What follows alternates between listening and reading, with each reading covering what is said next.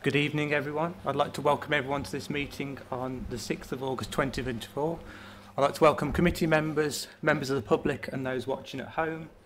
I'd also like to remind everyone in this room that the meeting is being recorded and will be uploaded to YouTube later on. First item on the agenda, we've got to apologies, and I've got apologies so far from Councillor Adams, Councillor Coates and Councillor Claymore. Are there any more apologies before we move on? No. Second item, minutes from the last meeting. The minutes of the previous meeting held on the 2nd of July 2024 are here for approval. Can I request a mover and a seconder, please? Councillor Smith and Councillor Turner. Thank you. Item number three, declarations of interest. Before there are any made, I would like to read out the following statement. I confirm that under section 33.2 of the Localism Act 2011, the Act permits an authority to grant a dispensation from either or both of the restrictions not to participate and or vote on a matter in which they have a pecuniary interest. Planning Committee members have received a further dispensation for applications relating to the future High Street project for a period of two years, starting from the 5th of August 2024 until the 5th of August 2026. Having said that, are there any declarations of interest? Councillor Kingston, thank you. Thank you, Chair. Yeah, um, it's the final application 0367 slash 2023 um, South Staffs College to declare an interest, as I've already expressed an opinion several times publicly about the whole application. Thank you, Councillor Kingston. Are there any more other declarations before we move on? Nope. Okay then. Item 4A, applications for consideration. Update information on application 0113-2024, 12 to 13 Market Street. I'd like to hand over to Debbie Hall to present the report, please. Sorry, no, for this one, I'm, I'll, I'll do this one. so this one is the uh, update to an application that we received, uh, well, sorry, went to committee uh, last month for the new shopfront at 12 to 13 Market Street. The applicant wishes to make just a slight change to the glazing arrangement. Um, part of the slides up here just to show what was approved originally and how they want to change that design. In effect, they're going from the multiple glaze units at the top there to a more simplified glazing style at the bottom. So if members uh, minded just to approve that slight variation, uh, that would um, replace the condition of plans that were originally put on the application back in July. Thank you. Thank you very much, Glenn. Are there any questions? Would anyone like to discuss this item? Councillor Clark. Thank you. Um, a, a small query, please. The six fan lights that were reduced to three fan lights, is there any enlargement in the size of the three fan lights? I wasn't quite sure. Only what's referenced on the plan, so as you can see here, you've got basically six. So yeah, it's going down to yeah three across that top, and then four instead of the six on that side. Anyone else before we move on? Councillor Turner. Thank you, Chair. Just, just a uh, comment really and a point of clarity. Have uh, Nationwide now signed off for the building, for the Future High Street Fund and took ownership of?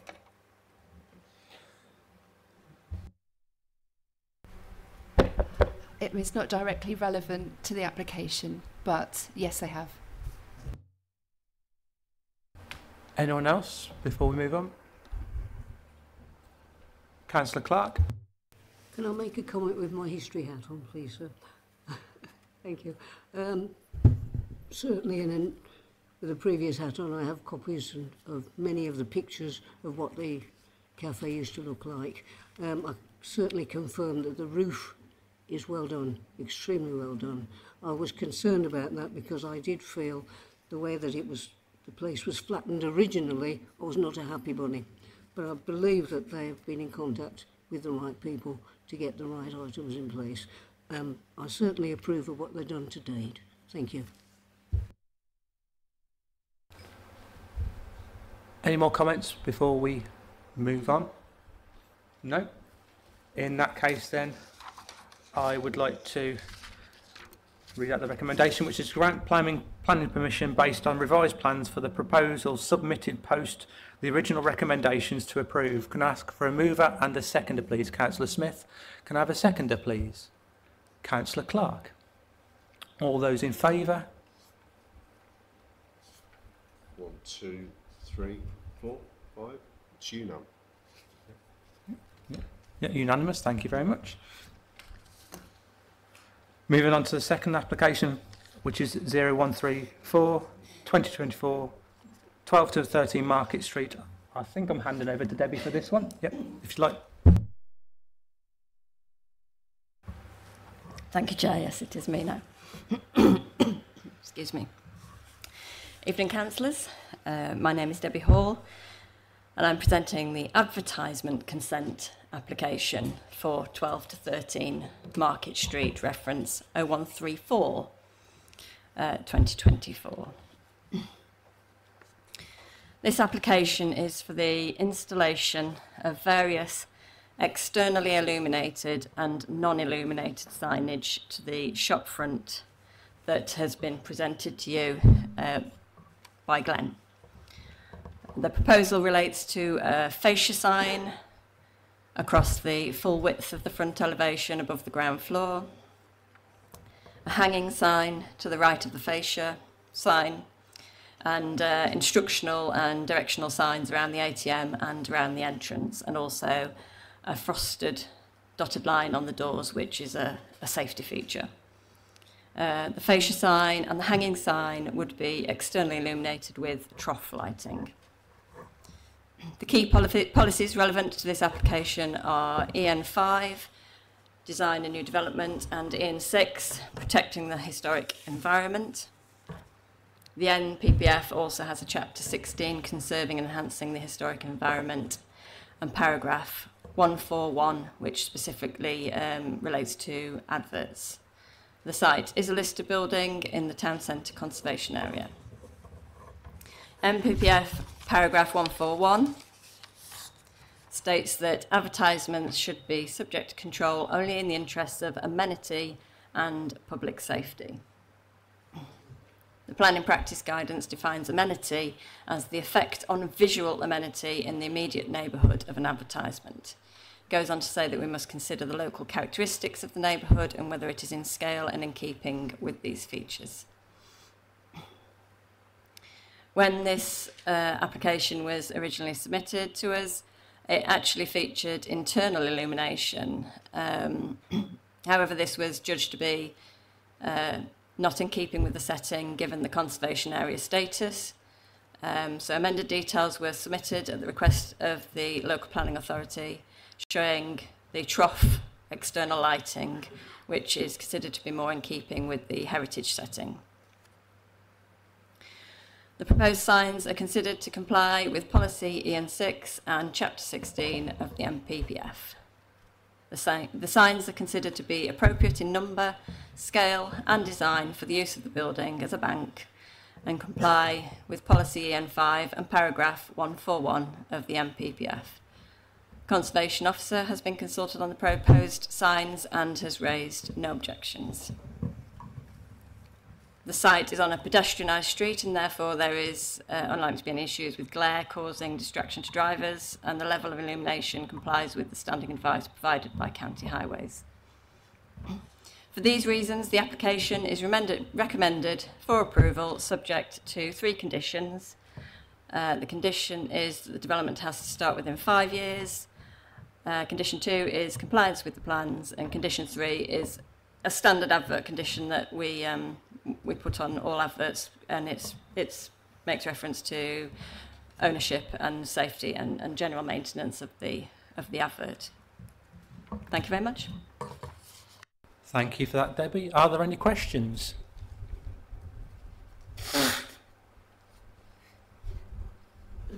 No? Would anyone like to... Sorry, Councillor Clark. Um, am I right in thinking that the um, the ad- advert, uh, the advertising items will be reassessed in five years to make sure they're still in line design-wise, EN5?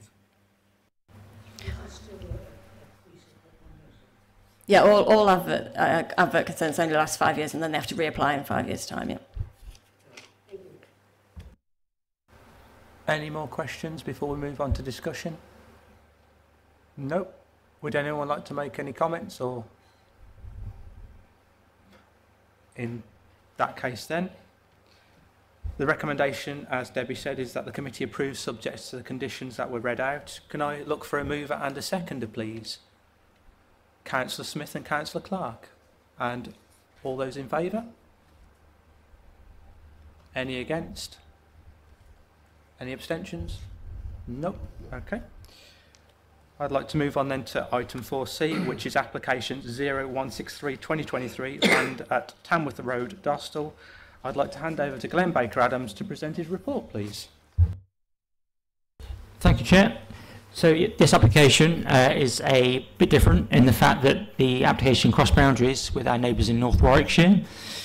The application is a predominantly industrial uh, scheme. Um, I will also mention that in per the report there is a statement which we I mentioned that we, we give an update in terms of the decision that the North Warwickshire Council took yesterday. The application was deferred by their council members, so they still wanted some additional information submitting regards to tree retention, some clarification around hours of use, and also around the uses of the actual buildings themselves. Notwithstanding that recommendation by uh, North Warwickshire, it's still the view of the council that the application within the boundary within Tamworth uh, is acceptable. It provides an ecological area or an area of, to be left for ecological purposes. The area of green to the north of the site indicated on this plan hopefully indicates that fact that no development will take place in that area within the town with boundary. It is purely for ecological management purposes only. I've additionally included this slide here, obviously it's a bit wordy, but in effect it provides the condition that will apply to the development in North Warwickshire requiring the statement for, uh, sorry, an ecological management plan to be provided by the applicants.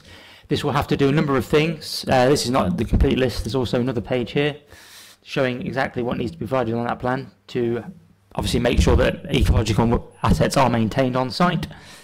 So in terms of yeah, the area within Tamworth, it was, I say, will be managed for ecological purposes, and that is it. So members are, you know, minded that any decision has to be consideration with these various issues on ecology, and that is the only consideration for us, because as I say, that is the only development within our patch, so to speak. Um, but that, that's the site as a whole. Um, members, as I say, were invited to um, recommend approval uh, last night, but they did have some of the clarifications which will hopefully be ironed out before their next meeting in September, by which time I will update members of this council that that decision hopefully will be approved. Uh, we do actually have the applicant here to speak, so I'll invite them when you're ready. Thank you very much, Glenn. And as Glenn indicated there, I'd like to invite Mr. Henry Courtier to have three minutes to put his case forward.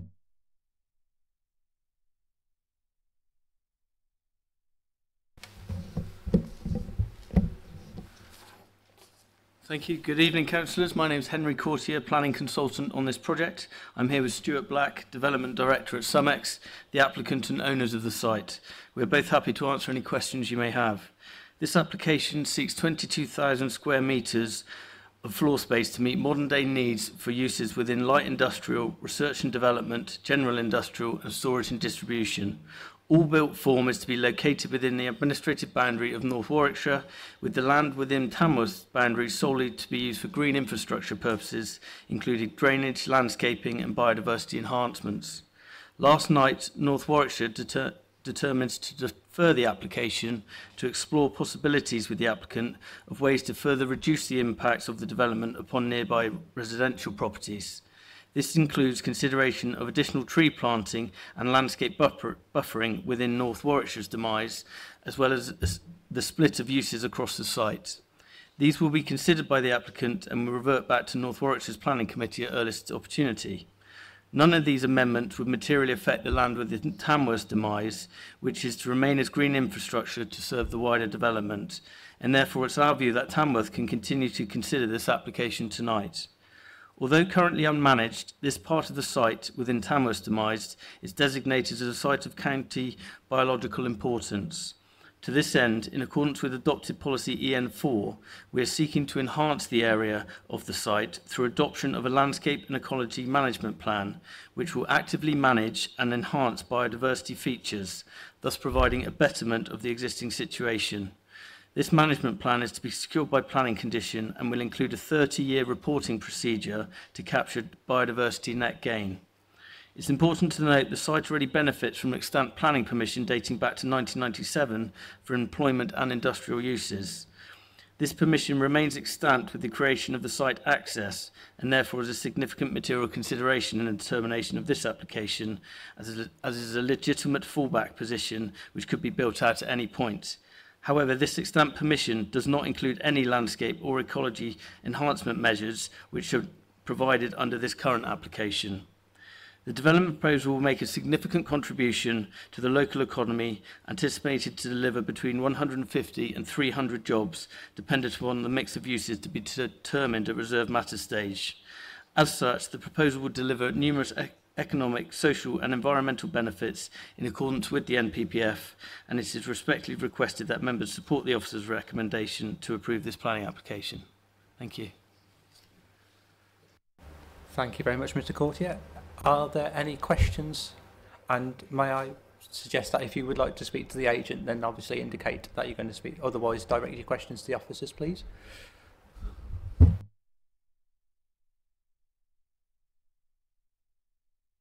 Councillor Clark. Thank you, Chair. Um, the Coal Authority, have they been approached at all? Um, no mining risk assessment? Is there a need for this in your opinion? Please. Um, the, there wasn't a coal mining risk assessment submitted with the application. Uh, obviously, the council, both both North Warwickshire and Tamworth, have both undertaken their own statutory consultation on the application, and we haven't got any uh, any objections to the current application from from any statutory authorities, as far as I'm aware. Any question? Any more questions?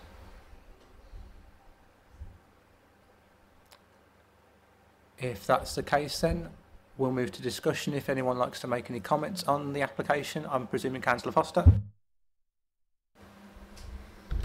Yeah, I'd welcome the fact that you know we're trying to increase the biodiversity, and as I'm new to sort of planning, um, I think it's a key area that we need to consider for planning applications in the future to actually make sure that biodiversity. I know we haven't got a lot of ground or whatever, but it is it is something that um, you know we're working alongside Staffordshire County Council to try and increase our biodiversity. So I welcome the fact that this, at least although it's only a small piece of land, at least it is going to be considered and biodiversity within our within our boundaries is going to be increased, which I you know I, I applaud. Thank you. Are there any other comments on this particular application? No. If that's the case then, the recommendation is that we, the committee approve subject to the conditions out, laid out in the report. I would like to ask for a mover and a seconder, please. Councillor Smith and a seconder, please. Councillor Foster. All those in favour?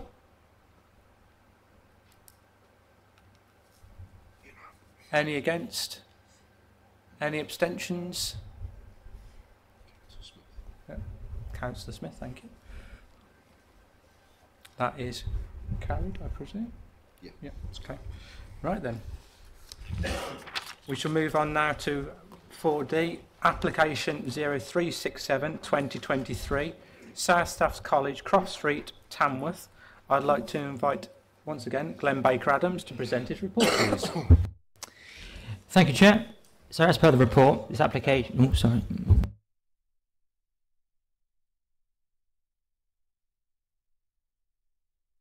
For this part of the meeting, Councillor Kingston won't be taking part in this process. Okay, so yeah, this application is, um, I said, a deferred item. Back in on the 5th of June, uh, we discussed the application before us for the demolition of the college buildings. To make way for eventual development of the site, um, application is currently undergoing consideration. Um, a few issues still to be ironed out for that one to be determined at committee yet, but um, this is where we are with the demolition application. Just as a reminder, the application for demolition is required by the applicants to secure procurement for eventual contractors to carry out that demolition work in the future. Members at the time of the decision of the application in June were very con concerned about the impacts on highway safety. So as a result, the applicant was requested to look at this um, in more detail. We also asked our colleagues at Staffordshire County Council Highways Department to provide a bit more information in terms of their response to the application. Working with Staffordshire County Highways, I'm thankful to receive a additional Form X or a consultation response from them. That is a part of the appendices to the application. Don't know if you received that uh, this, this afternoon, but that details in a bit more detail in terms of what uh, consideration officers have give, given to highway safety. And as well as that as well, an additional a condition has been included for a construction management plan that will need to be submitted before the actual works are uh, taking place. So to again give a bit more considerations to highway movements when that actually does take place in terms of contractor vehicles moving to and from the site with the uh, material to obviously demolish the uh, buildings themselves. Another reminder in terms of how the highway movements would work. That's the site there, showing that how the um, yeah the movements will take place. And then this slide again shows the areas of where the demolition will um, take place, the actual blue hatch markings, and then the circle at the, site will be where a stockpile of material will be left for the eventual construction construction of the um, of the buildings that might take place on site. Fortunately, as well, today we have uh, Mark Evans, who's joined us um, to have any to, to have a discussion in terms of his involvement in the site and any considerations to highways that members still might have. Mark is here to answer any questions as well. But as before, application is recommended for approval, and um, yeah, I think that's all I can say for this one. Thank you. Thank you for that, Glenn. I'd like to invite Brendan Dale to speak in favour of this application. You have three minutes.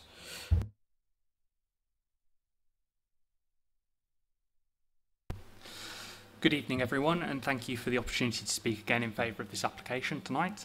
Um, I'd like to address the concerns that were raised previously regarding uh, construction traffic management and proximity to the railway line uh, and emphasise why we think this application deserves your support tonight.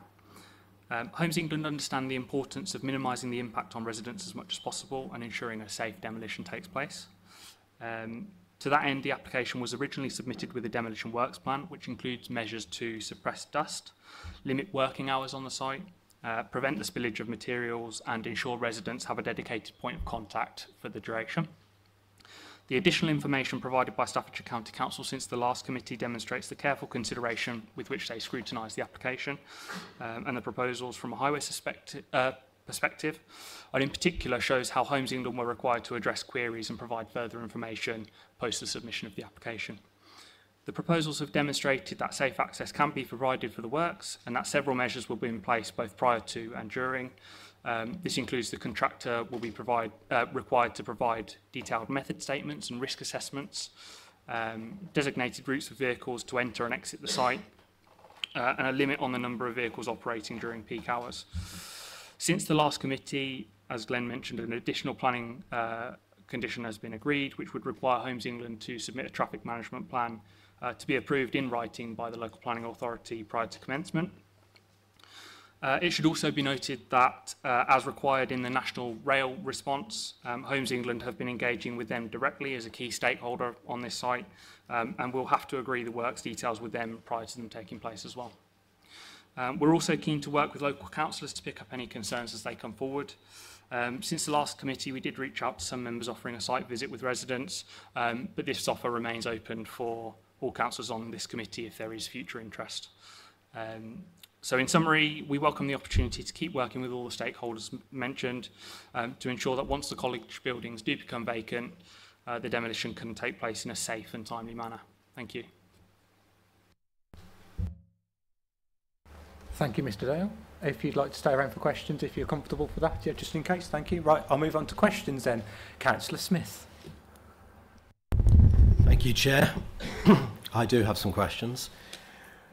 So the first one is, uh, in your report, report, specifically in the introduction at 1.4, it mentions, quote, since this meeting, Staffordshire County Council have provided additional information on the consultation response. This can be found at Appendix A, which you've mentioned.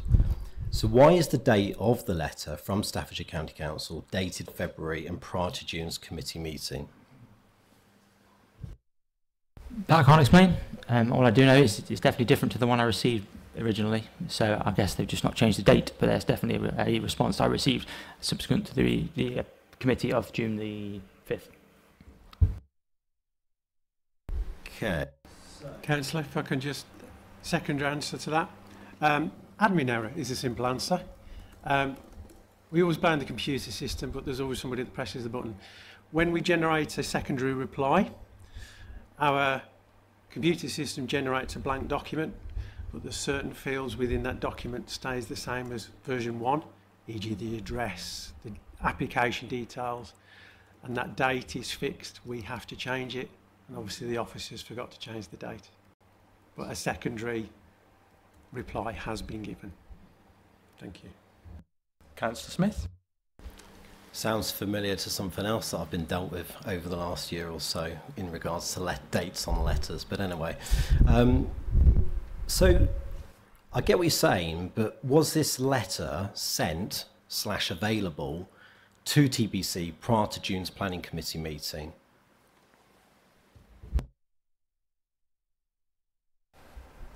Would you like to pick up? Yeah, no, yes. So the response form X, yeah, was given, as I say, and then uploaded to said website for view before the meeting. So if this was if this letter was available to TBC prior to June's planning committee, why was it not included in the agenda appendix for that particular meeting, which would have added value to the debate and had the potential to meet SU1 and SU2 of the local plan?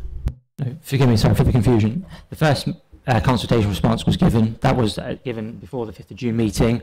When that was viewed, that was obviously considered inaccept- you know, unacceptable. But subsequently to that, on the 10th of July, I received a new one, and that one has the more information that we now believe to be sufficient to, you know, tick this matter off, so to speak. Councillor Smith. So just to confirm and, and possibly just to rephrase this, the contents of that letter in Appendix A, were you aware or not aware of that before June's committee?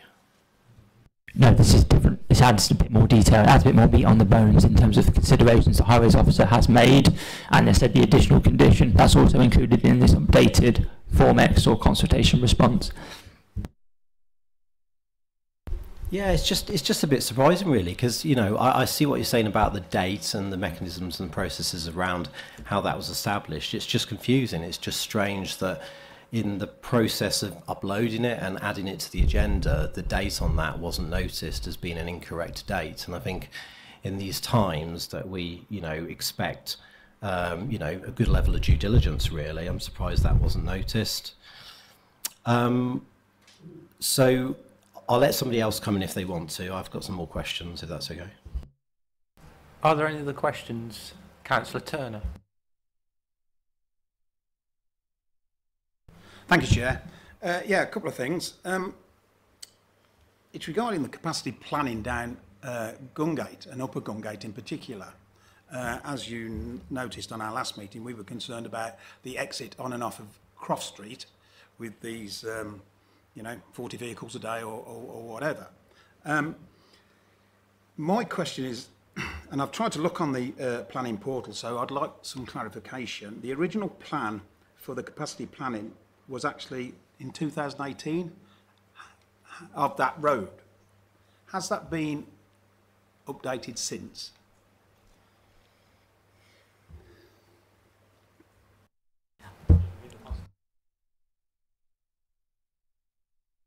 So I'm just looking at the consultation response. Um, as part of this application, um, we have comments about personal injury conditions, the background, um, so just an assessment of what the area locally is like, so speed limits, etc. How the proposal is described, and the comment on the application is purely about the site-specific issues. So again, how traffic will be managed within the site. In terms of wider impacts, that's not for assessment of um, highways officers, as they obviously considered to be, yeah, a, an issue relevant to what's within the site and nothing, nothing external. Um, demolition, uh, yeah, and again, there is an assessment on parking numbers um, in terms of making sure that be provided for all staff and users and visitors. Demolition of college would have heavy vehicles on the road, but as per the above, there are few in number, one to two per day, and would not have a severe impact on Croft Street or the local highway network. So yeah, just a general assessment of the yeah the local comings and goings of vehicles within that local area. Second, Councillor Turner. Mark would like to jump in on this. Yeah, thank you. We're not avoiding the question. What is in front of you tonight forgive the bluntness, is a demolition management plan. And all of the associated traffic associated with that works. We are not looking at two, 300 houses as a replacement for the college. That is not in front of us tonight. All you can make a decision on, and all we looked at when we determined the application, is how much traffic does the demolition of those buildings generate, and does that cause a highway safety issue on the network? Just wanted to clarify that. Thank you.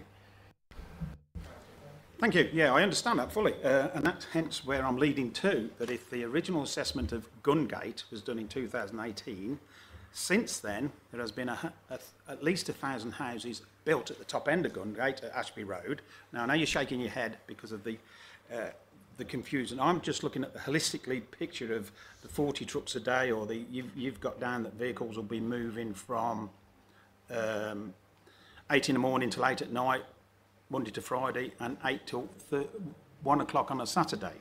Um, and these are big, heavy vehicles that are going to be joining um, Upper Gungate during them hours for the de demolition. So these are interlinked, and therefore we need to look at this carefully. I understand you're trying to narrow it down, but that's not right that we're narrowing it down and we're saying there is no more extra traffic at Gungate in the last four or five years. So I'd like your thoughts on that, please. I've got Anna first. Uh, I, I, I fully get the point that you're making, and I think if this was the application, which will come to committee in the very near future for the housing that's going to replace it potentially, I I think that's a very valid kind of um, sort of questioning to and route to go down. But as Glenn has just said from the consultation response, uh, county highways have responded to, we're talking about one or two demolition trucks a day, and, and, and that's it. And that is not considered to be significant, a significant impact on the network. Um, and it has to be significant. Um, that's a sort of a, a threshold within planning that's important in decision making. So we're talking about one or two vehicles additional a day, um, and, and that's it. Thank you. Before I let you jump in, Councillor Smith, I've got Mark to respond as well. Thank you. Um, just to clarify the position in terms of the thousand houses at the top of Ashby Road, it was a Lichfield District Council plan application. I was there myself, um, still dealing with that site personally. It has consent to build up to 1,000, but it has a monitor and manage planning condition imposed by the Planning Inspectorate, whereby they have triggers of two, 300 and 500 homes they do not have permission yet in terms of those triggers to build a thousand. So the capacity assessments done for that corridor showed they could, based on monitor and manage that was done by the planning inspectorate. We have our own traffic models that we still use for the corridor, and obviously, I'm going to go off piece, but to draw on what uh, has just said, is what you have to consider in the bigger picture is the college generates traffic. As a site, fully operational generates traffic. It will generate a hell of a lot less when it's being demolished. Granted, there will be larger vehicles, but there will be a lot less vehicles because it won't be open and there won't be cars using it. So in terms of this application, the corridor will have less vehicles on it because the college won't be operational. So what the college does generate will be significantly less. Therefore, the corridor will have less on it. Thank you. Would you like to come back, Councillor? Yeah, thanks. Yeah, thank, I, I fully understand that, that during that short period of demolition, instead of, for example, you know, 600 people going to college every day, you're just going to have, as, you, as in your word, 40 eight-wheel wheel trucks moving around. So I do, I do, I do get that. Um, however, you know, we're looking at the bigger picture here, and it should be, and I, I appreciate your, your, your comments, uh, to be honest, they're, they're right. You know, we look at the bigger picture. Since that application went in in 2018, things have changed. There are a lot more houses up there, and if you travel that road school time, particularly, uh, uh, you know, early morning and late at night, even without the college open, it's very busy. And I'm just thinking of one of the concerns that I read, read in there that the application said for the college that the new homes, 60% of the applicant or the, the, the residents would walk to work. And I was, read that and I thought, that's a bit random. Anyway, I, I, I move on. I hear what you're saying. So I, I know Councillor Smith wants to have a word. I think, uh, sorry, I've just been quietly listening to uh, the various the various comments made, and just sort of carrying on from what Mark and Hannah have, Hannah have also said. I think it's important to remember, you know, these are arguments when we have the full application, the full housing application before committee. But the proposal which is uh, before committee today is demolition of the existing buildings, and that's all you're there to consider. And I've got to remind you of that. Councillor Smith. Thank you, Chair. I hear what you're saying. You're probably getting frustrated because you're thinking, goodness gracious, we're just on the demolition part. We're not even uh, you're talking about the, uh, the the further application. Um, but you know, we're trying to reduce the potential misery of the residents of the surrounding area of the six months potentially that could be um, massively uh, disrupted. So you know, I take your points and I take Mark, Mark's point about the uh, the college. Uh, I would say, of course, that uh, you know most of those that attending there probably aren't driving um, and making their way via alternative means. Um, I have got a question. I just want to mention, just follow on. just wanted to make a side statement on that one. Um, in the June Planning Committee, the application was deferred to allow for uh, compilation of additional information. It should be noted that in our previous session, a motion was passed, then withdrawn after hearing legal advice. However, this motion encompassed apprehensions regarding the potential effects on the nearby railway. In keeping with the respect expected from officers to committee members, it's pertinent to question why this supplementary report fails to reflect the concerns about the adjacent railway that were articulated in the meeting and moreover were acknowledged in the minutes that have previously been approved.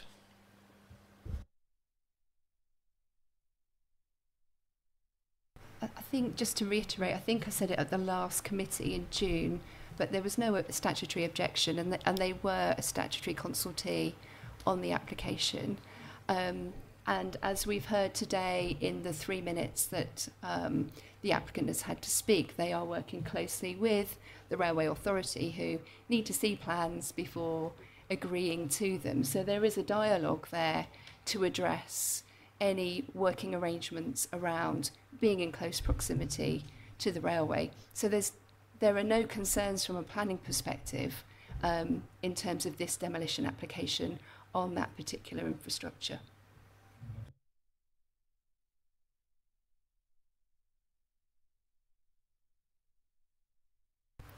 I, don't think there was anything in the minutes about the railway line being the deferral reason. I thought it was just the highways. Councillor Smith, if you like. Sorry, can I just follow up? Um, it was, I don't want to be rude, but to be frank, it's the arrogance of the fact that it was thoroughly discussed in June's committee meeting. And the fact it wasn't even mentioned, the word railway is not even mentioned in the supplementary report that's uh, with us today, I think is um, slightly rude, really, to, to members of this committee. I think it should have been mentioned, at least some talking points on it, and further discussion. Um, so that's just my little little moan on the railways. Before I bring you in, Councillor Smith, uh, does anyone want to respond? Or no? Okay. just to keep the minutes. Just looking at it. Okay. Councillor Lewis Smith, please. Just to reiterate one of the points there, um, there was no objections by Network Rail. That, that is correct, yes? No objections at all? No? Okay. So, um, and also just to um, highlight something. So we keep saying about how there's going to be 40 heavy vehicles coming in every day. It says here, um, and I'll read it out, so total of 40 times eight-wheeler wagon movements to remove scrap metal, timber, etc. over the time period. So that doesn't mean there's going to be 40 per day. There'll be one to two per day. And that 40 is the total to remove all the debris from the buildings out of the site. So it's 40 in total, but one to two per day. So if anyone wants to correct me if I'm wrong. That's hard. Yeah. Um, the only other thing in terms of vehicle movements is obviously they will need to get larger vehicles in and a crushing machine, for example, on the back of a low loader to start the process. So um, I've got details here which was forwarded on to Glenn. Um, we've got three articulated low loaders to bring that equipment in, which will sit there for the duration whilst they take the site apart. Then that equipment will leave at the end of the process. So that's the only additional HGVs and obviously anything that can't be recycled or reused on site will be taken off in a HGV. But yes, you're right, there is an initial small batch of HGVs to bring the kit in that will be used to demolish. Anything that cannot be recycled on site will be taken away in low loaders. And as I say, that could be very sporadic. It doesn't have to be all in one go. It just depends on what they demolish when and when it's got to leave site. Yeah. I'll bring you in, Councillor Clark. Um, Anna? Just to say, we've just checked the minutes from the June committee where this was originally discussed, and we did discuss railways during that committee meeting because I remember contributing to that discussion, but it, it didn't form part of the deferral. That was the deferral refers only to highways matters, and it was for more um, information The Form X was lacking, you felt, and there wasn't enough transparency in it to understand why the County Council had no objection. So that's why we've gone back and we've had an amended and revised Form X to provide that transparency and that clarity on the information submitted with the application. So nothing specific on railways, which is why it is not referred to in the supplementary report. Thank you, Anna. I've got Councillor Clark first, please. Thank you, Chair. Uh, I've always been told there's no precedent in planning, and that's firmly stuck in my brain. Thank you. I'd like to thank everyone who's given information in today and councillors who have raised every point possible under the mattress of this particular application. I understand that today we can discuss only the demolition of the site at the moment containing the old college. We have no place on this committee to discuss or look beyond the demolition of this site. We have no opportunity this evening to discuss anything that will or may or may not happen in the future. Am I correct in that, officers? Because if I am, I can have no objection subject to the following items 1, 2 and 3 being enacted. Please correct me if I'm wrong. Uh, no, that's correct. Councillor Sam Smith, please. I was just going to come back slightly on what you said there um, about the minutes. Um, the minutes has mentioned, I know there was no legal requirement to follow up on it. I'm just mentioning that the minutes do, do express a couple of points that were raised during the meeting. And clearly, at one particular point, we did raise a motion due to those points and the impact on the local plan. And of course, we can we can unpack that. But there was a couple of points that were raised, and they were around the demolition and the debris near the railway line and the concerns to the demolition uh, uh, concerns to the damage to the highways and of course we respected the fact that the legal advice at the time told us there would be a potential problem further down the road and of course we reflected on that and we moved away. But from just a, a of, you know, a moral standpoint, considering these issues were raised in quite in grave intensity and due to the fact that the impact on, on residents' lies, and due to the fact of the safety of the nearby network, railway network, I just would have hoped that actually those points would have been further mentioned in the supplementary report. So I just wanted to say that. I have got a question, if that's okay, Chair.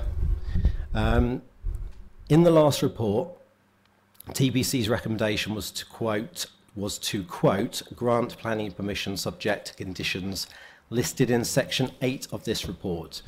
Why is this no longer referenced in this report?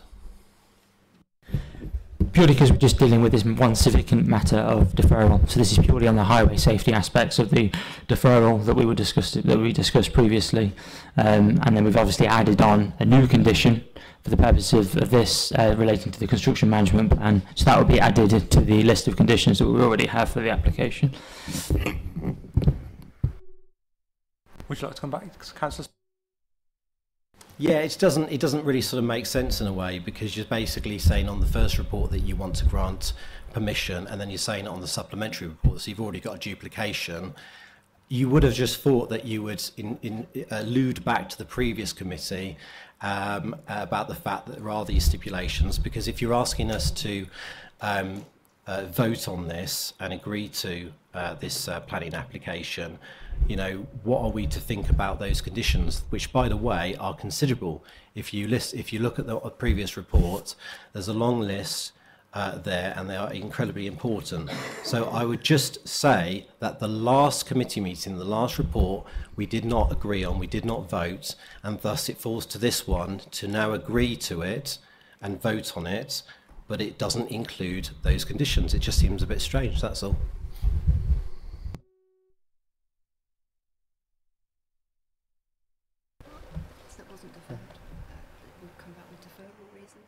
As the officers have said, that's not for discussion. We only came back for the deferral reasons, Councillor Smith.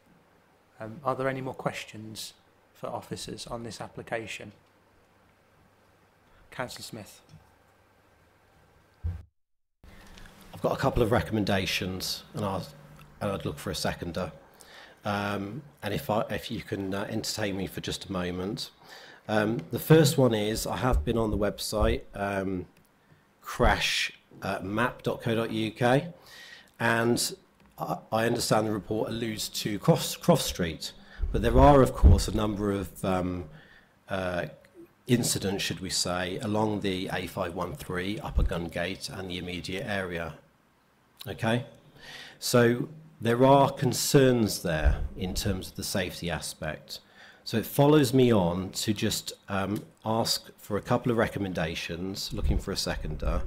The first one would be to recommend to Staffordshire County Council and all highways England that that sections of road should include 20 mile hour speed limit restrictions, um, specifically on Croft Street, the one-way system, and on the A513 Upper Gungate, specific to where the heavy heavy wagons will be travelling from the lower junction aligned with Albert Street and Hospital Street up to the end of the A513. That also moves me into the second re recommendation, which is the conclusion of this report, specifically 8.2, states traffic management plan shall be submitted to and improved by to be approved by the local planning authority. As such, and we haven't seen that plan yet. As such, I would recommend the traffic management plan should be brought to the earliest planning committee for review and feedback by members. I'll look for a seconder. That's Before we move for a second. Mark, do you have any comments on the speed limit? Uh, thank you, Councillor.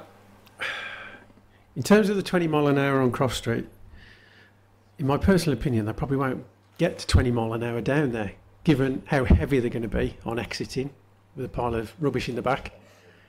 Yeah, I know. In terms of Cross Street, what it is, the A513 is a primary route network. It's a strategic network to move traffic around the country. That's what it is.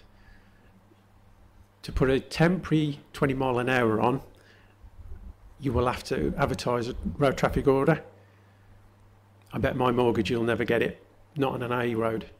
So I would not recommend that because I don't think it's achievable and I don't think it's safe because I don't think drivers will abide by it given what it is.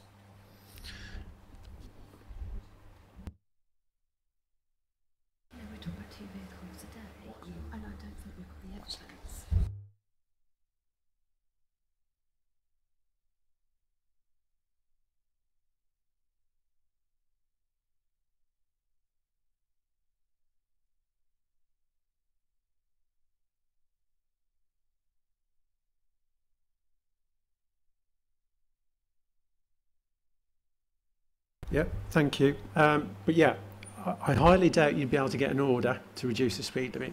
And at the end of the day, the decision by us is highway safety. Now, I understand the reason for asking it because you believe there is a highway safety issue. We don't believe there is, and one or two HGVs a day is not going to generate a safety issue, in our opinion. Now, the one thing you could consider, and this is where the traffic management plan comes in, for example, is if you have concerns of a HGV turning right out of Croft Street to go north, then the traffic management plan and a recommendation could come from yourself tonight, not wishing to put words in your mouths, but if this is the discussion you're having, is you could say that only left out of Cross Street for HGV, because that's an easy manoeuvre to make for a HGV. It doesn't have to try and turn right and head north out of the Gungate corridor. I don't think, as I say, I don't think it would be um, supported by us as a highway authority, by the consultees that would have to approve that. And I don't know where the evidence is that this would cause a highway safety, this is going to cause a highway safety issue to reduce on the speed limit on a 20. Again, on an A-class road, which is part of the primary route network nationwide, I don't think the evidence is there to get that through. I think the simplest thing, if you have concerns, could be to say no right turns for HGVs out of Cross Street, and the applicant will have to deal with that if that's your big concern in terms of safety at that junction. Thank you. Just to just to mirror what Mark said, actually, to be honest, I think the if, if that's what you're minded to do, I think the right the right way of doing it is through the traffic management plan, rather than through the uh, the, the, the the traffic regulation orders. The, traf the traffic regulation orders, as probably Mark has just described, is basically a different different process, a different jurisdiction. Uh, and as a consequence, we can't control that. Committee can't control that because it's consultation process and it's a different decision by other officers at Staffordshire County Council as Highways Authority. So there's even an argument that because it's a TRO, it's actually not even material to the application. But the right way of doing it, of controlling that sort of thing, is through the traffic management uh, condition.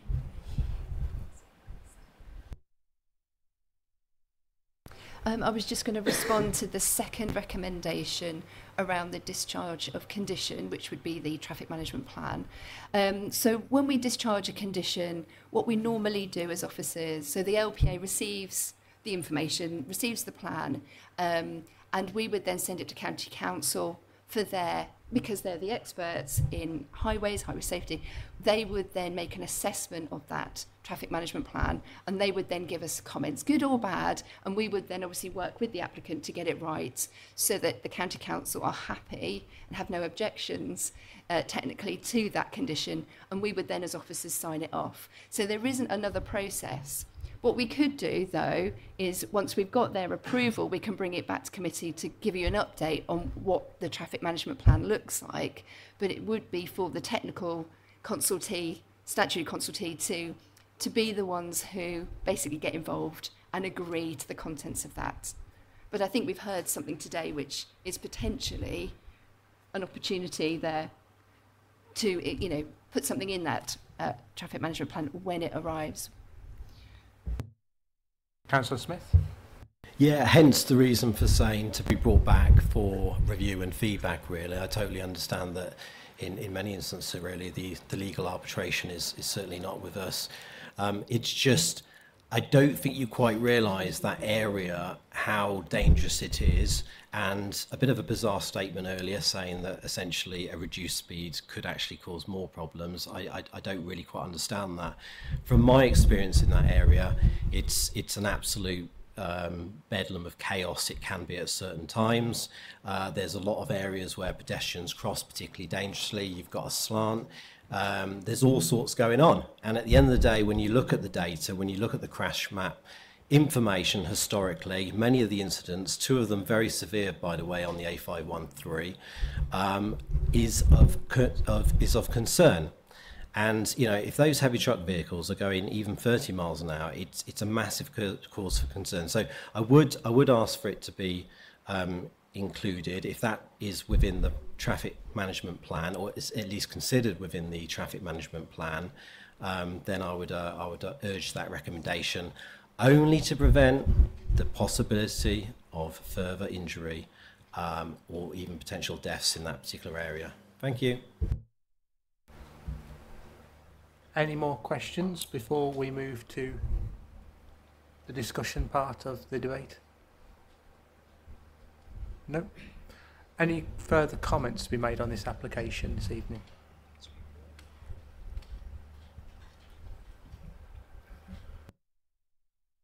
Chair, I think we, uh, you know, we, we, we need to understand now. Um, clearly, uh, Councillor Councillor Smith has put forward a motion, and I think it was seconded by Councillor Turner. So what we now what we now need to understand, uh, I think we, we we've had a good discussion about it, whether uh, Councillor Smith um, would want to withdraw the first part of your um, motion in the sense of um, part that deals with the TRO after, after the discussion that we've had. Bring back to what you actually, to some extent, recommended a moment ago, which was to bring it as part of the second recommendation, bring the first slightly into the second recommendation. If it helps, I can read it out um, in terms of combining the two. So traffic management plan shall be submitted to and approved by the local planning authority. We know that.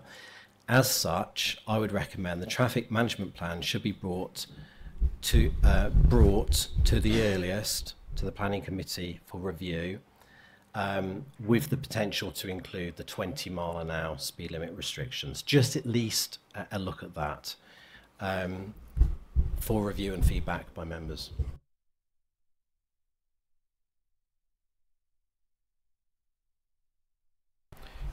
The difficulty being that the 20 mile, mile an hour zone would require a TRO, uh, Councillor Smith. That's the difficulty.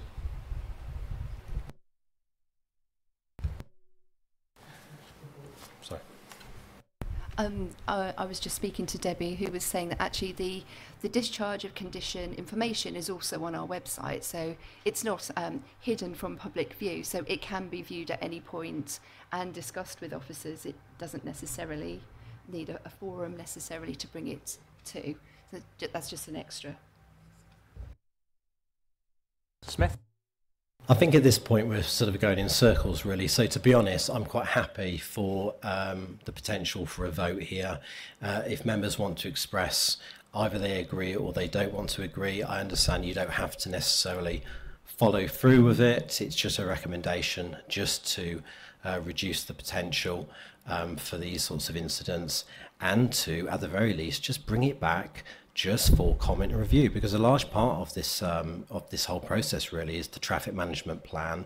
There's a lot of information, and considering what we've already seen, um, and not to be rude, but from what we've seen already from the report so far and the lack of information at certain moments, there is a slight concern that if this um, traffic management plan is to be looked at internally and simply green lighted through, um, I would be uh, concerned about that.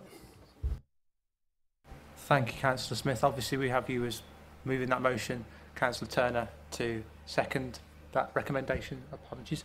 Um, anyone else? We move to the vote then. All those in favour of the recommendation by Councillor Smith? One, two, one, two, two. All those against? Three, four, five, five. And any abstentions? One abstention. That recommendations. It's lost. Yeah, that recommendation, unfortunately, Councillor Smith has been defeated. Um, in that case, then I presume we Go move to to substantive. go to substantive. Yeah. So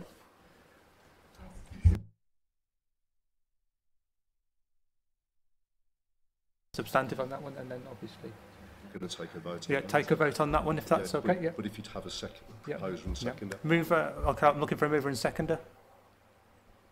Councillor Smith and seconder. Councillor Pallett. We'll move to the vote. All those in favour? One, two, three, four, five, Any against? two. Any abstentions? I've got one for that. That is carried. Yes. Yep. So th- in that case then, we are moving on to agenda item number five, updates to committee from planning officers. I'd like to hand them back to Glenn Baker Adam. Thank you, Chair. Um, probably the most significant update I can offer is the appeal for the police station redevelopment came through uh, last week. Um, members may recall this one, maybe some of the members may not be part of that committee discussion, and in fact probably a large section of you weren't. This application was for the redevelopment of the police station on Spinning School Lane for 54 residential apartments. In December, this application was brought to committee and we recommended approval for that application. However, as members at the time uh, overturned that recommendation due to a number of issues. Um, these include parking uh, provision, the shortfall in the housing mix, open space within the units, and also the resident units themselves falling short of the uh, national space standards, so basically dictating the amount of space within them, um, consumer to the amount of bedrooms that they have. Um, so yeah, we had the appeal. I went to a hearing. Um, I can't remember when that was actually. I think it was June, June, July time uh, in, in this very building. Um, so we had a good discussion about how officer officers could obviously support uh, members' decision on that. So we provided some evidence to the inspector that um, we believe to um,